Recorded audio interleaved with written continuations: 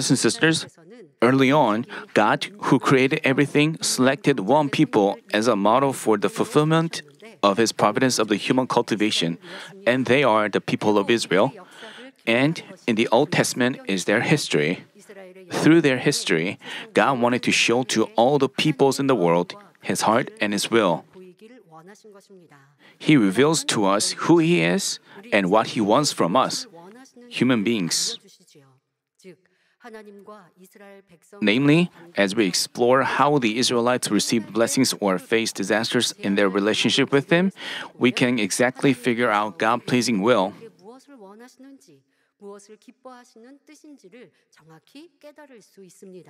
From today, I'll deliver messages based on Senior Pastor's sermon series, The Land Flowing with Milk and Honey, preached back in 2001. These messages are also part of the Israelites' history, and they describe the process of their conquering Canaan, the blessed land, which God promised them. But they are not just the history of Israel, but essential messages for all of us, God's children. Seeing how they conquered Canaan, we can see what could happen in our journey towards heaven and realize what should we what we should be vigilant against and how we should rely on God in our march of faith. We already are well aware of their process of conquering the Canaan. We know exactly how they con- took the land. Father God had shown them amazing power. Through Mo- Father God showed them the evidence of uh, guaranteeing Moses. They saw many, numerous evidences, but because things didn't agree with their thoughts, they grumbled and complained. Seeing them, we used to think, why did they do so? But we know that it's the heart of the people and hearts of men. As we realize this, we can change ourselves. We may feel frustrated, but we have to know that it's like they're like us. So we, we can think about how would Father God would look at us. And Father God also Father God is also giving us message while Pastor is not away.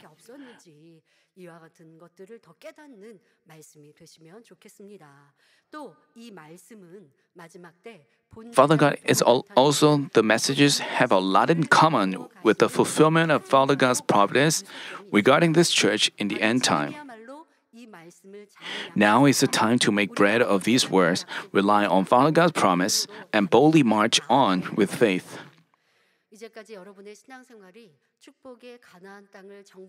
May this message help you examine whether you've been well prepared to conquer the blessed land and help you discover the areas where you fall short. I urge you to find out what you have to do for the conquest of Canaan and make up your mind. So I hope that each one of you will play major roles in fulfilling Father God's providence and become the pillars of New Jerusalem. As you apply the story of the conquest of Canaan to your life of faith, rather than considering it their own history, you can experience God's work of creating things out of nothing, reviving the dead, and making impossible things possible and miserable situations prosperous. For example, in the next session, I will talk about the 10 plagues.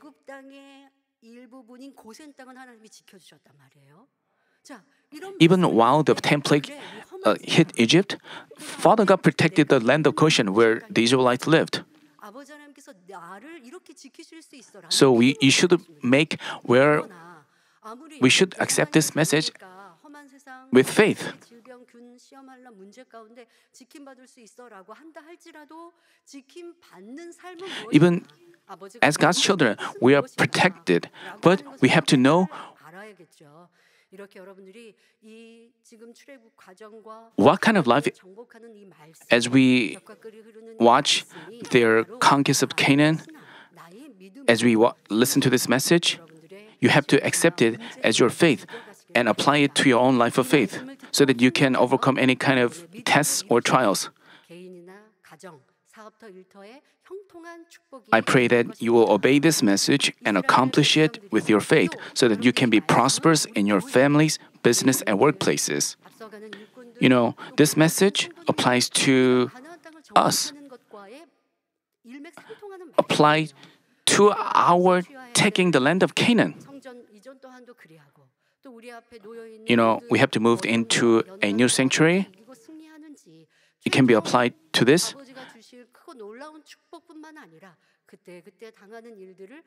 Not just the, the it tells us how we should overcome the each and every situation.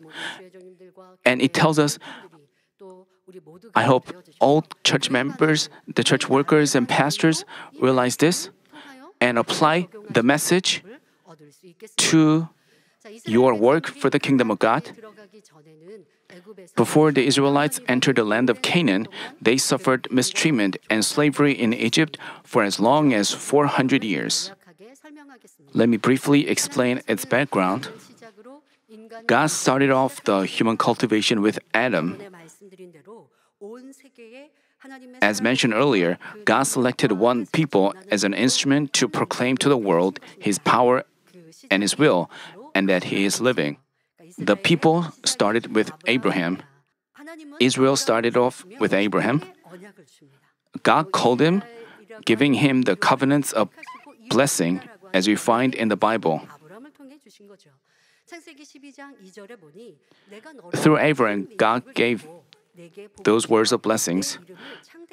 And I will make you a great nation, and I will bless you and make your name great, and you shall be a blessing. As God blessed Abraham, God gave him the words of covenant for Israel. The Lord appeared to Abraham and said, To your descendants I will give this land. So he built an altar there to the Lord who had appeared to him. The words were given when Abraham was called by God at age 75, left his home, and settled in Canaan. It's not that he'd grown into a tribe or a people, but God told Abraham in advance that the Israelites would suffer slavery for 400 years and the events to unfold after that. God said to Abraham, Know for certain that your descendants will be strangers in a land that is not theirs, where they will be enslaved and oppressed for a hundred years. But I will also judge the nation whom they will serve, and afterward they will come out with many possessions. After many years passed, when Abraham turned 100 years old, he gave birth to his son according to God's promise. Abraham's son Isaac gave birth to two twins, Esau and Jacob. As the first son, Esau had a right to receive God's blessing, but he didn't cherish it. Saying that, saying that he was famished to death, he sold that, sold that blessing for a bowl of stew, which means he didn't cherish his right but neglected it. You may think of Esau as stupid, but you have to think whether you are like Esau. As the Bible says, that there be no immoral or godless person like Esau who sold his own birthright for a single meal. God turned his face away from Esau, who acted in godless ways, not longing for spiritual blessings. But even today, we see many of such cases. There are people who don't keep the Sabbath for money, fame, and authority, and those who've abandoned their God given duties for personal reasons. To abandon, you know, just holding on to the title doesn't mean we keep our duties. If we don't actually carry out the duties, it's like abandoning the duties. They trade they trade their precious duties for worldly things or for personal feelings. In heaven, they would see how precious their duties are and what a blessing they are. Because they cannot see the rewards right now, they trade it for fleshly things. They are like Esau. On the contrary, his brother Jacob had a proper inner heart before God, by which he longed for spiritual blessings and tried to take it by force to the very end.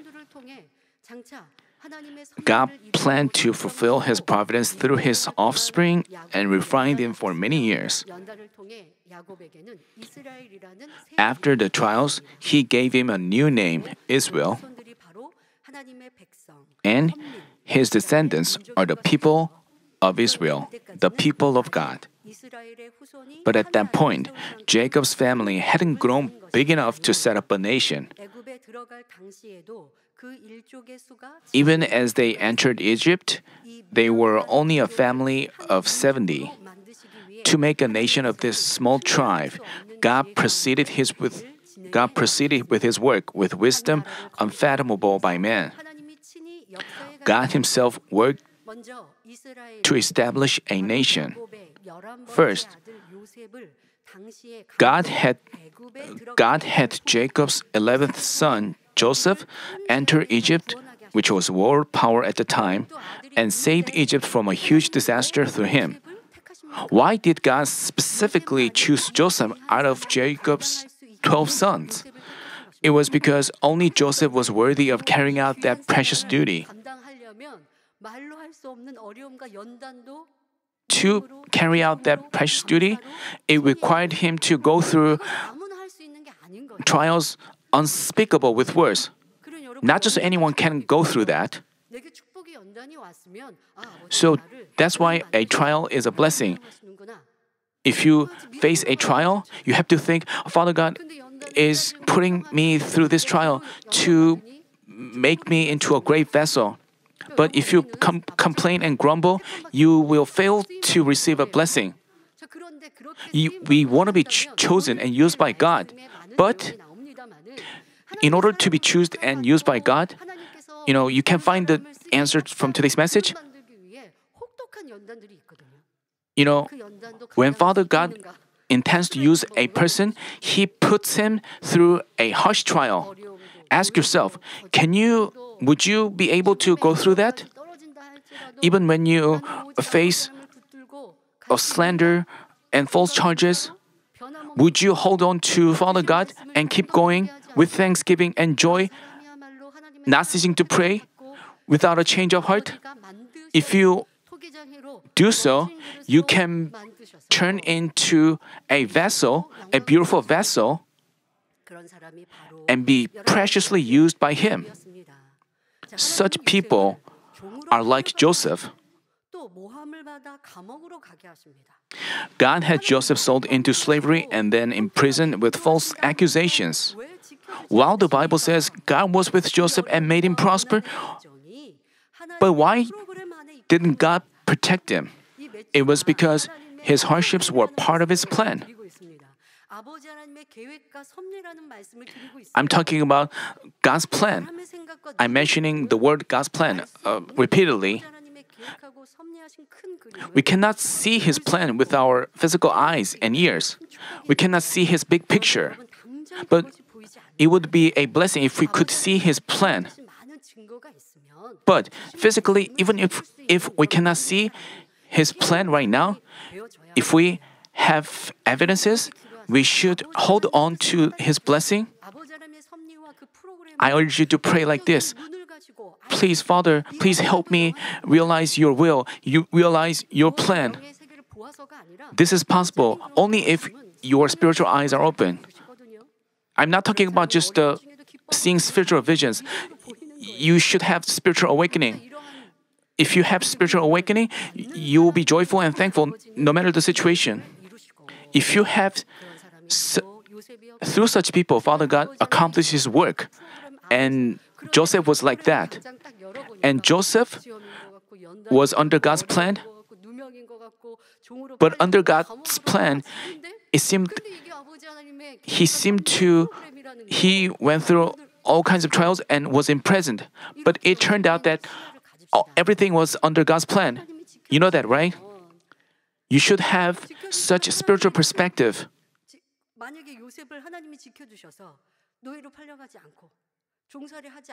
If God had protected Joseph, Joseph wouldn't have gone to prison. He wouldn't have been imprisoned. He wouldn't have gone to, to a prison where king's prisoners were confined. But then God's great will wouldn't have been accomplished. That's why Father God let him be imprisoned. That Father God let that happen so that his will, his providence could be, and that's how he could become a person, the greatest person next to the king, and he could equip himself with qualities to rule over Egypt. We may think things just happen without our efforts, but you have to know that we cannot, Father God does not let us reap without sowing because the enemy devil interferes with us. Father God do things exactly according to his justice. He gives us tremendous blessings only after we pass through trials. Without passing through trials, he doesn't give us blessings. What is important thing is Joseph faithfully carried out his duties. You shouldn't have misunderstanding. You may think "Uh, the only thing I have to do is just pray. No, you have to do your work faithfully. Also, while you, while you do your work, you shouldn't deviate from the truth. You know, Joseph faithfully carried out his duties and he got recognition and he learned how to do things. That's how he could equip himself with qualities to rule over Egypt. You have to apply this to your own life. You may think, I want to be outstand, I want to stand out among people. Then you should examine whether you live a faithful life. Just living as you please, you cannot expect blessings. If you want to be rich, you should uh, save money. You should have self control. You should stop doing what you want to do.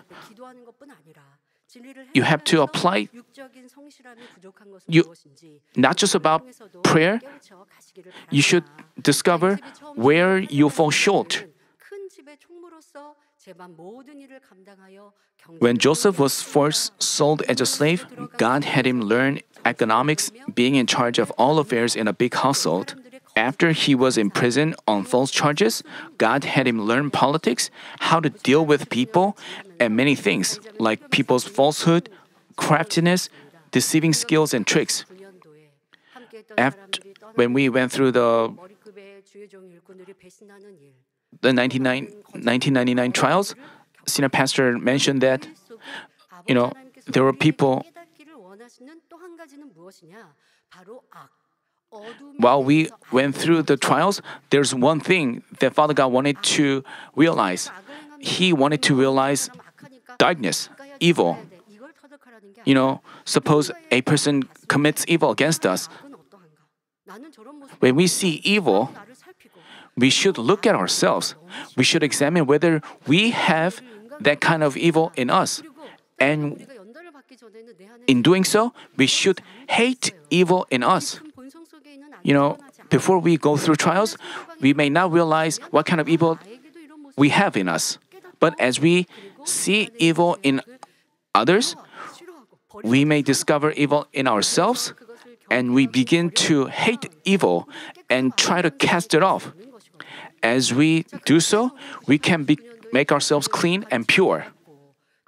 That's how we that's the kind of awakening we had uh, while we go through the 1999 trials. But what about the trials recently? When we saw evil and darkness in others, we may. What kind of awakening did you have? When we saw people betraying, uh, we should think, uh, that's too evil. I really hate it.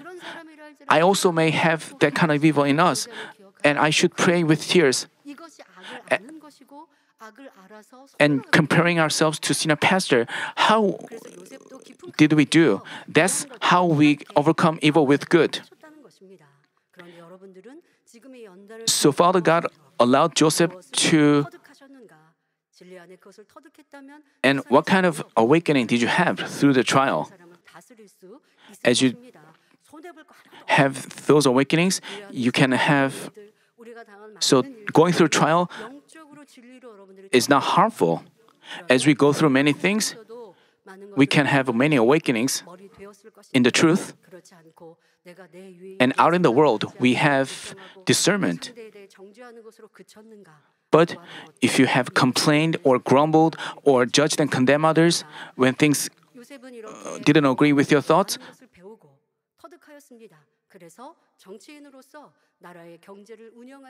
Joseph learned many things in the prison. and after Joseph became a vessel capable of managing national economy and embracing everything with great love and virtues, God put him in the highest position next to that of the king. We can see that things proceeded exactly according to God's plan. God instantly established him as the leader and had him save Egypt from a huge disaster. Back then, the Near East region suffered a great famine that lasted seven years. Even with advanced civilizations, a seven year famine would cause tremendous chaos. Uh, you must have watched on television many people famished to death due to long drought and little children who are just skin and bones in Africa. People send relief from all over the world, but the situation is helpless. Without advanced civilizations or technologies, a seven year famine must have meant death and it could have brought destruction to Egypt, which was a world power. Yet, with God given wisdom, Joseph knew about the disaster in advance and prepared, thereby saving all Egyptians from it. Being greatly indebted to Joseph, the Egyptian king highly welcomed Joseph's family to move to Egypt. He treated him treated them with great hospitality, Thanks to Joseph, even during the seven year famine, the Israelites could live peacefully, being provided with food in Egypt, and they settled down there and multiplied. But later, problems began. After Joseph and the king who was indebted to Joseph died, a new king who didn't remember Joseph's favor ruled Egypt. Since Joseph, the Israelites had multiplied and become great in number. To the new Egyptian king, the Israelites, a foreign people flour- flourishing in his land, felt like a tre- threat. That's how he began to persecute the Israelites. He forced them into hard labor, and later he even issued a decree that all newborn male babies be killed. He intended not to allow their descendants to live in the land. As the male babies were to be killed, naturally, they would end up with no descendants. God did say that He would make a big nation of the Israelites, but they were in danger of extermination. And Moses, a man of God, was born in that painful and bleak time.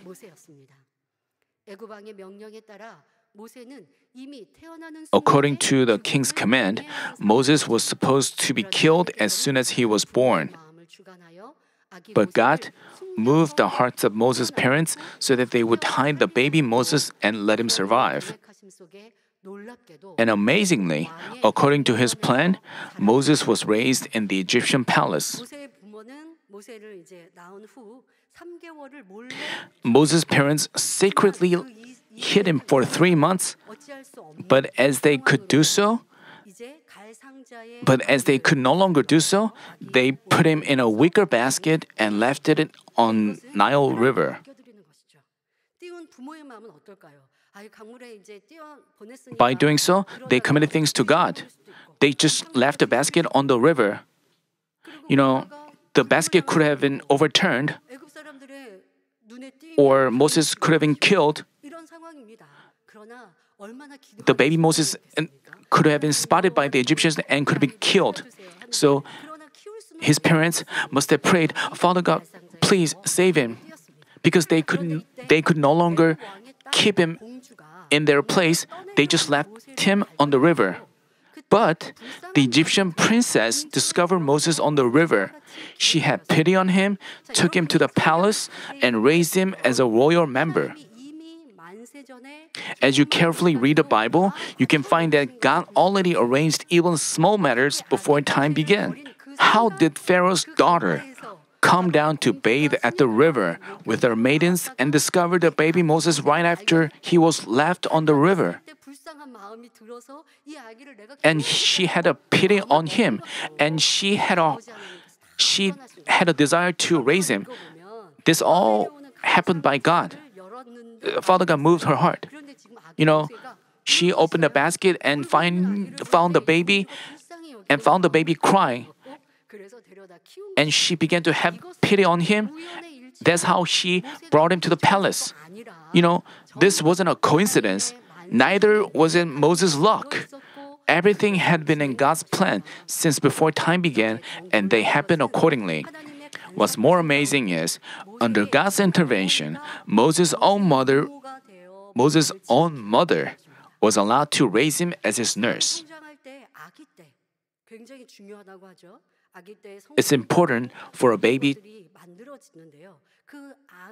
You know, baby's character is formed by his mother, and his own mother raised him. Suppose he was, suppose Moses was raised by a different woman. How could she have taught him about God the Creator, the God of Abraham, Isaac, and Jacob? How could she have told him that Moses was an Israelite, not an Egyptian? Only his mother was able to do it, and God had a, had a God had Moses' own mother raised him as his nurse. All this process was never a coincidence, but only possible under the providence of the Almighty God. God saved Moses, who would fulfill his providence from death, had him receive good education in Pharaoh's palace, and let him learn about his people and about God in greatest detail from his own mother. Being a prince of the powerful nation, Moses didn't become complacent. Instead, he was concerned about his people's suffering. Meanwhile, he got involved in a big incident. Seeing a Hebrew beaten by an Egyptian, he killed an he killed that Egyptian. Even though he was an Egyptian prince, Hebrews were his people. That's why he murdered that Egyptian who bullied his fellow Hebrew. By this incident, Moses had to run away to the wilderness. He lost all the honor as a prince of a powerful nation. There were no more delicacies, no more luxuries. What lay ahead of him was a rough life in the wilderness. All his plans for the future and all the hope he had for his own people were gone. At first, he must have felt so miserable, insecure, and disappointed about his situation. But with passing of time, his pride or his confidence as a prince faded away and he adjusted to his life as an ordinary shepherd. As he adjusted to living his in laws, he learned to figure out others' feelings and serve them. In doing so, he lowered and shattered himself. It looked like he forgot about his past. In a sense, Moses became totally useless in accomplishing God's work. When he was a prince, at least he was bold and confident. With his authority, he was capable of doing something great for the Israelites. But then he became a fugitive whose life was being threatened. He was just a worthless man who couldn't do anything for God. But this was under God's plan, and this is his way to refine his man. So if you realize that spiritual principle, you know, when you face the trials, you can just lower yourself. You, you, you don't need to give excuse or complain. Even when you face false charges or face unfair situation, you just keep silent and pray and examine yourself whether you hate others or not. If you discover evil in you when you when people slander you and when people create false rumors you want to argue with them. All this is evil. When we go through trials we may face such situation. And when you do so you have to examine yourself and just pray. 나는 기도할 뿐이지 하고 내 안에 있는 불편함, 감정, 미운 마음, 속상한 마음 이런 마음들을 도리어 회개하고 And repent of all 나 죽었어. ill feelings. 하고 내가 죽어지고 깨어지고 이런 감정들 You have to shatter yourself. 아, 왜 내가 이렇게 힘들고 어려운 일들을 만났지? 왜 You shouldn't think, uh, why am I facing such a difficult situation? And why is it ma- giving me a hard time? 마음도 있고 미움도 있고 But you have to 속상한 think, 마음도 있고 괴로운 마음도 있고 Because I have a desire to argue with them, that's why I have to go through this trial. I have to cast them off. That's how you quickly pass the trial. Otherwise, if you complain and grumble and lose the fullness and stop praying, you may face trial after trial after trial. Some people may completely lose their faith, and others, you know, 여러분들 하나님의 사람의 연단을 받는 것 하나님이 나를 직접 연단하시지 않았던 내 안에 죄 when you go through trial, you have to s- examine how you feel. You have to check whether you put the blame on others. 이렇게 힘들고 환경 탓하고 있는가? 그러면 나는 내 죄. If you do so, you continue to go through trials and build up the wall of sin. But the way to overcome the trials is to look back on yourself and shatter yourself. That's how you quickly uh, end the trial. 신속히 끝나고 아버지의 사랑이 임할 것입니다. Let's take a look at the people of God. You know, David used to be respected by people, like Saul had slain his thousands and David his ten thousands. But as Saul got jealous of him, he became a fugitive. Just to save his life, he even pretended to be a madman, drooling. As people belittled him, tried to capture and kill him, and reported his location to the king, he repeatedly had to run away. God made him a worthless man. But through these trials, David achieved profound goodness and a great heart, thereby making a, his nation rich and strong. The same went for Apostle Paul. He was from a rich and honorable family, entitled to a Roman citizenship. He acquired his knowledge under Gamaliel, one of the greatest teachers. He was a healthy young man who seemed to lack nothing. But after he met our Lord, he had to give up all things. He had to give up his honor, didn't exercise his right as a Roman citizenship, and turned all what he learned into nothing. But God didn't stop there. He had him stoned, abandoned, and criticized by his own people. He had him suffer scorn and mistreatment. Even so, Paul didn't get discouraged. He relied more on God and communicated with him in depth. Receiving power and strength from above, he turned into a person able to do God's work. It's not that he received power from the beginning. As he shattered himself through trials, he got more strength from above. As he suffered many hardships, he prayed all the more fervently and overcame the trials well. So he was given power. But God gave him God gave him a thorn as well. By putting a thorn in his flesh, God pre- prevented him from being arrogant for performing power. So he prayed and humbled himself more, thereby performing greater power. Thanks to such trials, he became a great servant of God's power, carried out his duties well, and finally died a martyr. Thus, all trials and persecutions turned out to be blessings. It was the same with Moses.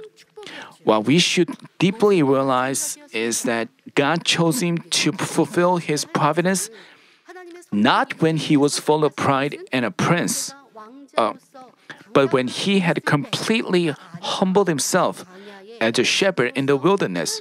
We have to remember this. This is the kind of person God wants. He fulfills His providence through individuals who don't rely on His wisdom and capability, but only depend on the Almighty God, shatter their thoughts, and deny themselves, and show complete obedience. With man's capability and thoughts, which are the third dimensional, we can neither beat the fourth dimensional enemy devil nor fulfill God's providence. So, learning to rely wholly on God requires us to go through trials. We cannot shatter ourselves without uh, trials. We may want to have great faith and we may want to be used greatly by God, but it's only our wish only through trials we can shatter ourselves, shatter our ego deep in ourselves. Through trials, we may discover our self selfish desire and greed. Discovering that we put ourselves to death, and through this process, God lifts us up. Before meeting God, lying on his sick bed for seven years, senior pastor realized he realized that we cannot even keep our own life on our own. He also realized the utter vanity of fleshly love. He learned that the love of parents, brothers, and friends and neighbors can change, and they can betray you if things go against their benefit. When happiness in his family, hope for his future, and pride in himself, you know, senior pastor had a nature to plan things perfectly and carry them out you know, when he was a student, he planned to, he planned what time he would get up. And when he couldn't keep that promise with himself, he disciplined himself. And when he married his wife, he also had a, a bright dreams with his wife. He planned everything uh, perfectly and he believed in his dream, fulfillment of his dream. But everything fell apart and he realized that he was nothing, only then did God reach out to him. After being sick for seven years, he had all that awakening, and he couldn't. He realized that he couldn't believe in himself. He couldn't believe in anyone, and that's how he only relied on God. God healed him of many diseases in an instant. When he called him to be his servant, senior pastor had nothing. He didn't have enough money to set up a church and had no preaching skills. He was too old to enter a seminary. Most of all, he lacked memory power to study. He was introverted and too shy, which was a big problem. Even so, God called him and guided him each step of the way, making him physically it was impossible, but still, God called him. You know, previously, Senior Pastor had a big dream, but he realized that he couldn't do anything on his own. That's when Father God called him, and as Senior Pastor obeyed, Father God guided him each step of the way and made him a servant of God's power. Also, when God first called him, he commanded something most difficult to obey. That was a financial issue. Uh, having having been sick for seven years, he had great amount of debts. He and Mrs. Bong Lim could barely pay the monthly interest with both of their incomes. But God commanded him to stop working, focus on preparing to become a pastor, and have Mrs. Bong Lim work alone. If he did so, God said he would bless them with God bless them with income greater than when they both worked. He said, If you obey, I'll give you a measure pressed down, shaken together, and running over, so that you you wouldn't run out of rice and money. The senior pastor and Mrs. Bong Lee obeyed accordingly. You may think, Father, if I hear Father God's voice, directly, I would obey. No, even Father God, even if Father God doesn't directly speak to you, He gave us message through the Bible. And the problem is whether you obey or not. Because you don't obey, you cannot receive blessings. You, some of you may think, Father God didn't. And you may think, if Father God directly speaks to me, I would obey. But no, Father God commanded something difficult to obey to senior pastor. But senior pastor wholly trusted in God and obeyed. As a result, God blessed them with income a few times greater than when they worked together. That way, they could pay off all debts in a few months. That's how they resolved their financial issues. When God called him to be his servant, he also said, Whenever you go, wherever you go, I'll be with you. Wherever you go, whenever you go crossing rivers, mountains, and seas, I will prove that I am with you with through signs and wonders. And God did just as He said. The reason that all this has been possible is that senior pastor utterly realized the futility of flesh and realized in the depths of his heart that he couldn't do anything. But only God can. So he showed complete obedience. Even in severe trials, he never harbored resentment or lost his faith, but only showed God only demonstrated goodness and love and marched on in faith. Like this, God looks for people of obedience. God is still looking for such people. The Bible says, But God has chosen the foolish, foolish things of the world to shame the wise, and God has chosen the weak things of the world to shame the things which are strong. And the base things of the world and the despised God has chosen, the things that are not, so that he may nullify the things that are, so that no man may boast before God. Another verse tells us, Let no man deceive himself. If any man among you thinks that he is wise in his age, in this age, he must become foolish, so that he may become wise. Thus, we should quickly shatter all our fleshly thoughts and theories and be able to obey God's will completely. I also urge you to possess spiritual faith of relying on God rather than looking at your reality.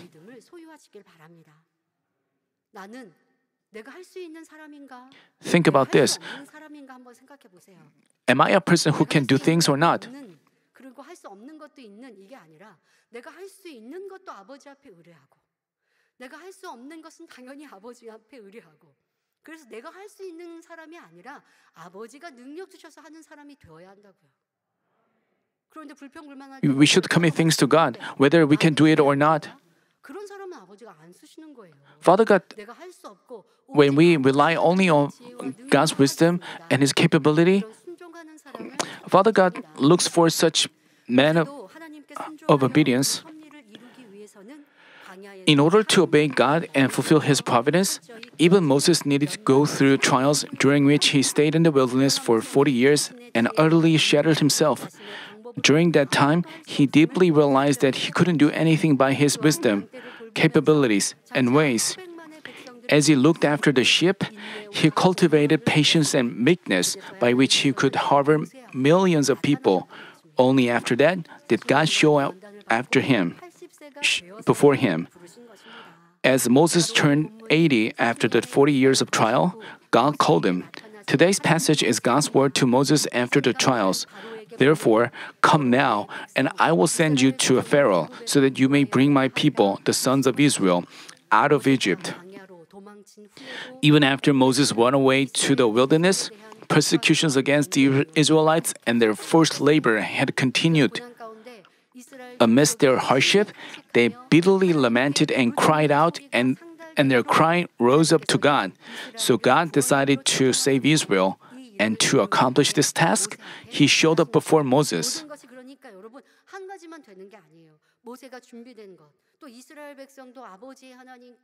There were not there weren't just one condition. You know, Moses had to keep himself and and the Israelites cry rose up to God. All these all these things work together. So there is a and when the right time came, Moses. But Moses was disturbed. He was a completely powerless shepherd. Even if he was to go back to Egypt, he would have no superb base because it had been 40 years since he left. How could he possibly come before Pharaoh, the king of a powerful nation, and take back the people enslaved by him and his people? there was no way the king would give them up. Also, Moses wasn't certain that the people would trust and follow him. Knowing that Moses had such concerns, God didn't just send him. He told Moses in detail what to tell them. God also told him what to say to the Egyptian king that the king would refuse to let the people go and that he would send down various plagues to move his heart. God even told him that by the time the Israelites left Egypt, the Egyptians would give them articles of silver and articles of gold and clothing. God didn't just promise him with words, but showed him convincing evidences. As, is, as Moses threw his staff according to God's command, it became a serpent. As Moses grabbed the serpent by its tail, it turned into the staff. Also, as Moses put his hand into his bosom and took it out, it was leprous like snow. But as he put his hand into his bosom again and took it out, it was fully restored. After he heard the words of God and witnessed these signs, he only obeyed God's word. And, holding his staff, he departed for Egypt. Spiritually, the staff means faith. You know, people with weak legs depend on a cane in walking. Likewise, even when something seems impossible with our own, own capability, if we have faith in the Almighty God, we are more than able to make it possible. Because Moses knew well about his shortcomings, he had fear and embarrassment. But only trusting in God, he went on he went on an adventurous journey risking his own life. In the next session, we'll talk about the events following his arrival in Egypt. Let me conclude the message. Brothers and sisters, when Moses was sent to the Israelites to fulfill God's providence, God proved that he was a man of God not just with words, but through accompanying signs. As people saw all that Moses said fulfilled and witnessed manifestations of power which were impossible by man, no one could deny that the living God was with him.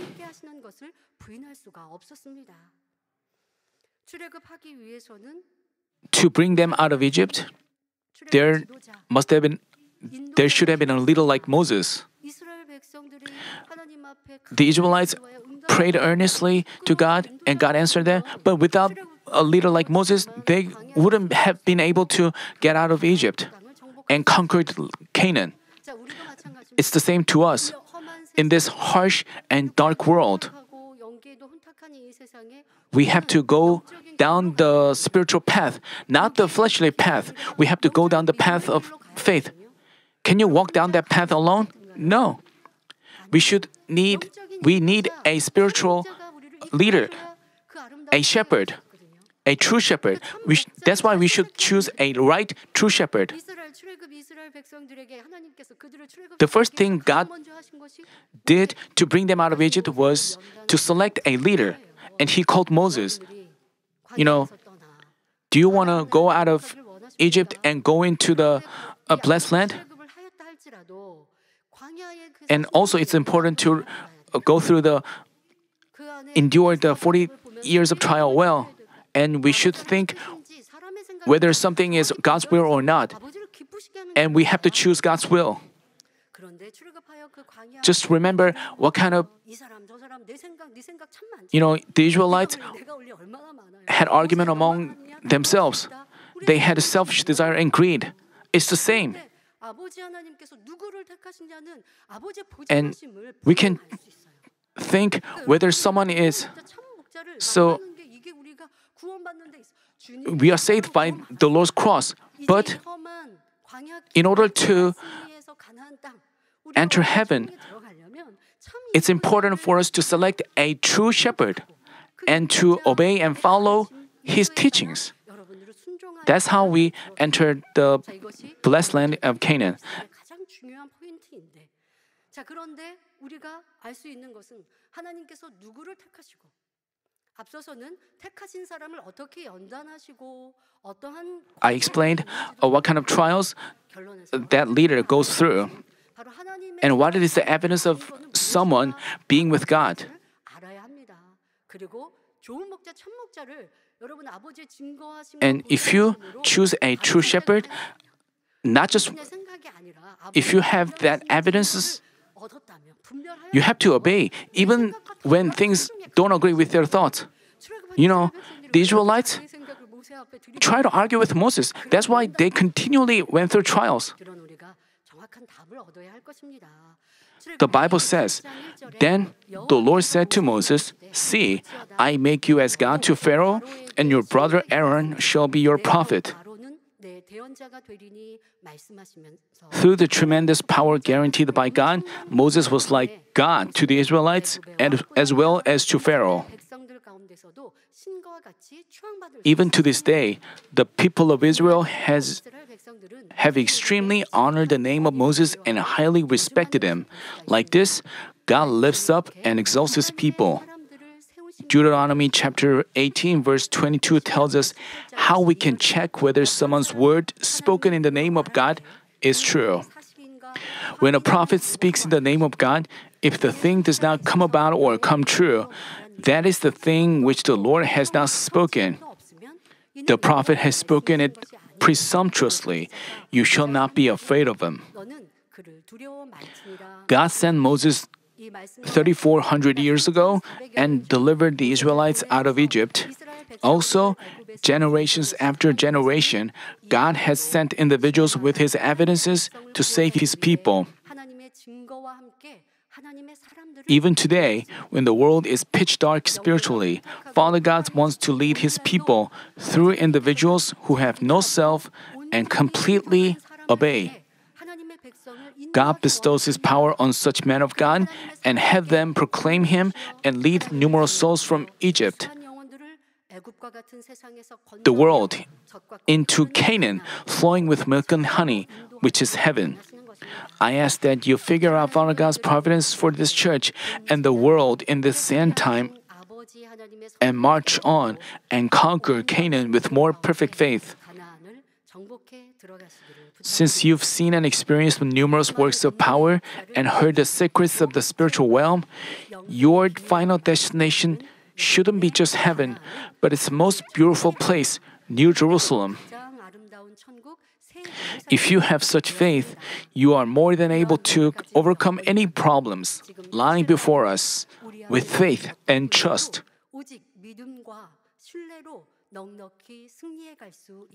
I pray in our Lord's name that the messages on the conquest of Canaan will lead you to the, take the land of Canaan both spiritually and physically and enjoy blessings from the land flowing with milk and honey.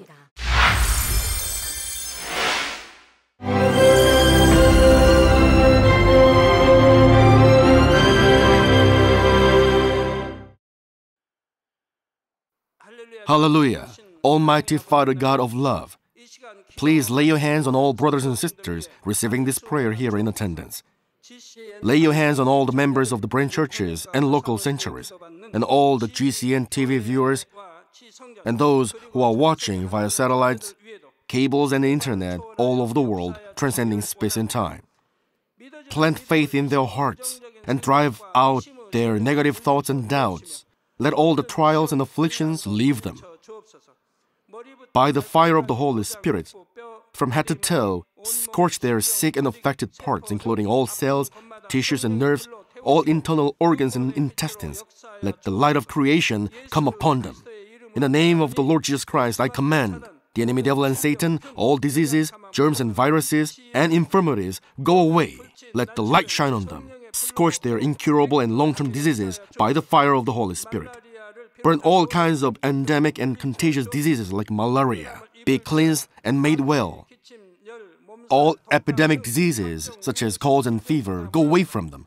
Protect them from any kinds of germs and viruses and bacteria.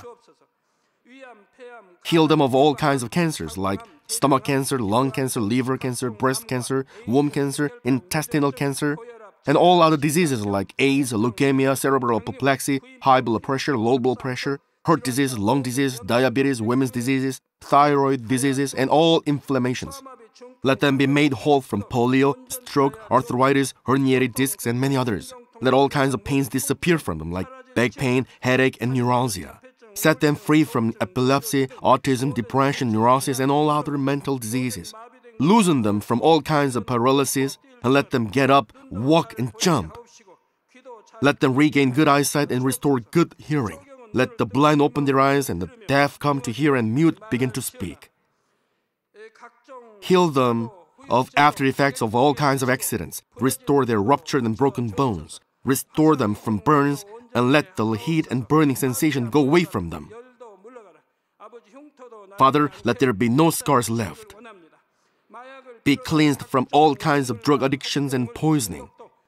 Father, regenerate dead nerves, tissues, and cells, and bring the dead back to life. Father, please bless them to conceive a baby. Bless them to conceive a baby. In the name of the Lord Jesus Christ, I command the enemy devil and Satan, the ruler of the air, the evil forces, and their servants, go away from them. Go away, you evil spirits, unclean spirits, deceiving spirits, spirits of falsehood, separating spirits, and all forces of darkness. Loosen all bonds of wickedness and darkness, and go away from them. Let the light shine on them. Father God, give them strength to cry out in their prayer and empower them with the power to cast off sins and become sanctified. Let them be in good health as their soul becomes prosperous, and let their family be evangelized. Protect them from all kinds of accidents and disasters, and bless them to lead a successful and prosperous life in everything. Please protect your children, their home, their business, and their work by the fiery hedge of the Holy Spirit, with the heavenly host and angels, and with your blazing eyes. Give students wisdom and understanding, and fill their hearts with more passion and desire for study. Keep their hearts and minds from worldly things, and plant into their hearts more fervent love for God. Bless your children and let them give glory to you in everything they do, whether they eat or drink or whatever they do. Let them confess and testify to the living God I've met God, I've experienced God, and received His answers and blessings. Father God, thank you. Let all glory be to you alone. In the name of our Lord Jesus Christ, I pray. Amen.